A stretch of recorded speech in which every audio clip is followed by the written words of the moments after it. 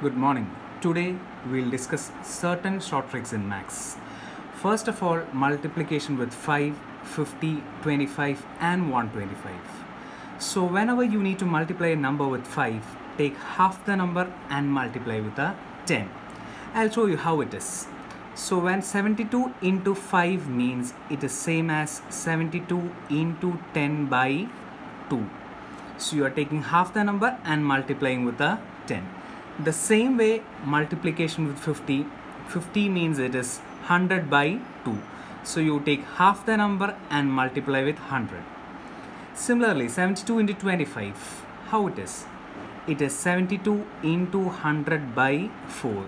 So you take one fourth of the number which is 18 followed by two zeros. It is 1800 and multiplication with 125 125 it is very important it is 1000 by 8 so 72 into 1000 by 8 that's 72 by 8 it is 9 and the answer is 9000 the same way we apply the reverse logic division with 5 50 25 and 125 so 8000 divided by 5 means it is 8000 divided by 10 by 2 or it is into 2 by 10 so what you do is you strike out a 0 and multiply with 2 so 800 into 2 1600 similarly divide by 50 means 8000 into 2 by 100 so 80 into 2 it is 160 similarly divided by 25 it is 8000 into 4 by 100 so 18 to 4 which is 320 and finally divided by 125 which is the most important one.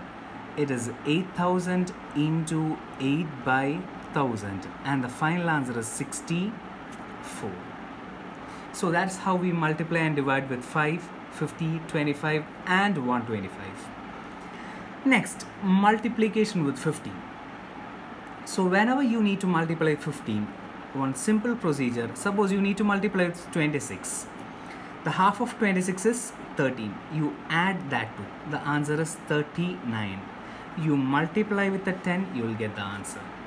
So whenever you need to multiply a number with 15 add half the number to that number itself and multiply with a 10 the logic is that 50 into 15 means it is into 30 by 2 or into 3 by 2 into 10 which means it is one and half times into 10 so you to add one time to half time and you multiply with a 10 Similarly, 16 into 15 means 16 the half is 8. You add that to, you get 24 into 10 to 40. It is applicable whether it is odd or even. 15, again the half is 7.5. You add it, you get 22.5 into 10, the answer is 225. Next, the multiplication with 11. So, I'm just taking an example 1, 2, 3, 4, 5 into 11. So, what you do is first you write down this 5 below. And next add 5 to the very next number. 5 plus 4 it is 9 again 4 plus 3 it is 7 3 plus 2 it is 5 2 plus 1 it is 3 and you write the 1 below. Okay? The same way I'll show you another example with a carry. So here you write down the 9 below. 9 plus 8 is 17 7 1 is a carry. Next 8 plus 7 15 plus 1 16 again 1 is a carry. 7 plus 6 13 plus 1 14 1 is a carry. 6 plus 5 11 plus 1 12 1 is a carry. That carry you add to 5 it becomes 6 so it becomes 6 2 4 6 7 9 and the last thing is multiplication with 9 99 triple nine or it can be anything like that here just one condition is there the number of digits here and here it should be the same. That is here it is 2 here also it must be 2 if it is 4 it should be 4 okay? So I'll show you how it is. The first procedure is subtract 1 from this number. So you get 57 now next you subtract the full thing from 99 and write it here. That is 9 minus 5 it is 4 9 minus 7 it is 2 this will be the answer.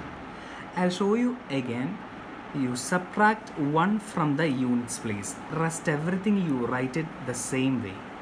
Now what you do is each number you subtract from 9 and write in this order. That is 9 minus 1 it is 8 9 minus 6 it is 3 9 minus 5 it is 4 9 minus 8 it is 1 this will be the answer this is how you do multiplication with 9 or 99 or triple nine when the number of digits is same next we'll be dealing with the base multiplication which is one another important trick okay?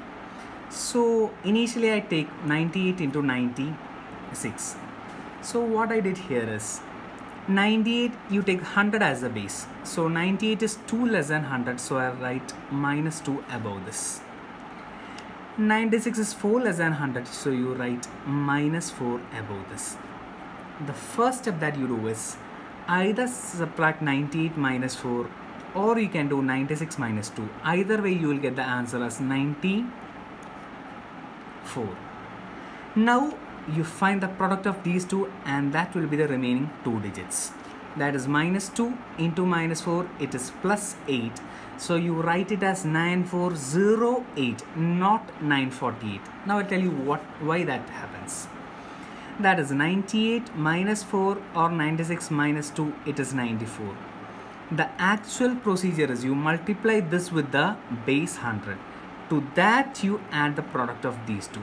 That is why it is 9408 similarly 92 into 93 taking the base as 100 it is 8 less than 100 this is 7 less than 100 so 92 minus 7 it is 85 93 minus 8 also again it is 85 now 8 sevens are 56 so it will be 8556 this is applicable also is above 100 so if it is above 100 I write a plus 2 and plus 3 above this.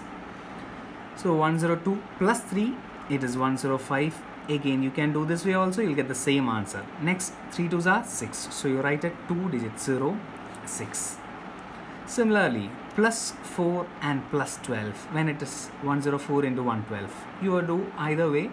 112 plus 4 it is 116 12 fours are 48 so directly you can write the answer. The next thing is 115 into 105 it is plus 15 and it is plus 5 so add one way 115 plus 5 120 15 5s are 75 so your answer is 12075 now when it comes to this case 108 into 94 one number it is above the base and 1 it is below the base. So what you do is 108 minus 6 it is 102 or 94 plus 8 is again 102 so what you do is you have to multiply with the base 100 and then you have to subtract this. Why? Because 8 into minus 6 it is minus 48 so it is 10152. That will be the answer. We'll do the same thing here also. It is plus 2 and it is a minus 4. 96 plus 2, 98. You multiply with the base 2 into minus 4 it is minus 8. The answer will be 9792. That's how you get the answer. This can be applied for any numbers taking any zero digit number ending number as the base Suppose it's 18 into 90. Take 20 as base. It is minus 2 and it is minus 1. 18 minus 1, it is 17. 19 minus 2, again it is 17. The only thing is that you have to multiply the corresponding base, which give the answer as 340. To that you add the product of this. Minus 2 into minus 1 is plus 2. It is 340. When it comes to 27 into 29, it is plus 7. It is plus 9. 29 plus 7 it is 36 multiplying the base 20 you get 720 to that you add the product of these two which is 63 the answer will be 783 this was done using 20 as base. The same example can be done with 30 as base. We'll see how it is. Taking 30 as base it will be 3 less than 30 it will be 1 less than 30 27 minus 1 it is 26 into the base 30 so you'll get 780 to that you add the product of this you will get 783 so you got the same answer. Next multiplication with over the base 50 suppose you need to find 46 square. It is same as 46 into 46 so if 50 was the base it is minus 4 and minus 4 46 minus 4 it is 42 you have to multiply with the base. We already discussed multiplying 50 you take half the number followed by two zeros. To that you add the product of this which is 60 so it is 2116 that will be the answer.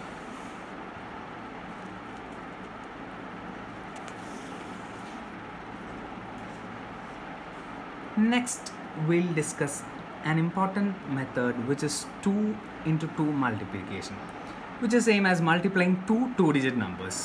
So first of all i'll tell you a rule.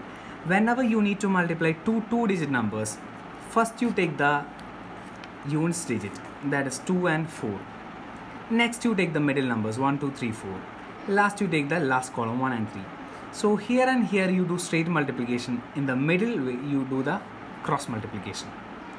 So first 4 into 2 it is 8 next in the middle case you have to cross multiply them and add it. 3 into 2 6 1 into 4 4 6 plus 4 10 you write 0 and 1 is a carry. That you add to this. 1 3 3 plus 1 4 I'll show you another example. 24 into 32 first 4 into 2 8 then 12 plus 4 which is 16 6 1 is a carry last this 3 2s are 6 plus 1 7 the answer is 768 26 into 35 6 5s are 30 0 3 is a carry. Next 18 plus 10 28 plus 3 31 1 3 is a carry. Last 3 2s are 6 plus 3 9 so you got the answer as 910 Similarly, you can try with any examples taking any two two-digit numbers. So I'll tell you one more important method how you can check the answer. Not only for this, for any multiplication. Suppose 1 2 into 34 I got 408. I need to check whether the answer is right or not. So first I add these two. 2 plus 1 it is 3. Now I add these two. 3 plus 4 it is 7. Now you multiply these. 7 3s are 21 again you add it to make it into a single number 2 plus 1 it is 3 now we'll add the answer also. 4 plus 0 plus 8 4 plus 8 is 12 1 plus 2 it is 3 so you got the same answer on the either side. This happens only when you get a right answer. And now we'll see one more example. 26 2 plus 6 it is 8 this also is 8 8 into 8 64 6 plus 4 10 1 plus 0 it is 1 in the same way we'll add the answers 9 plus 1 it is 10 1 plus 0 1 so like that you can check whether the answer is right or not. This is just a way for checking whether the final answer is right or not without multiplication.